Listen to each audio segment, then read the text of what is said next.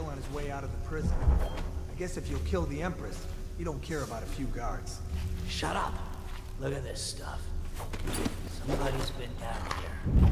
Bottle Street gang, maybe. Watch for booby traps. Could be some down here by the look of it. Good.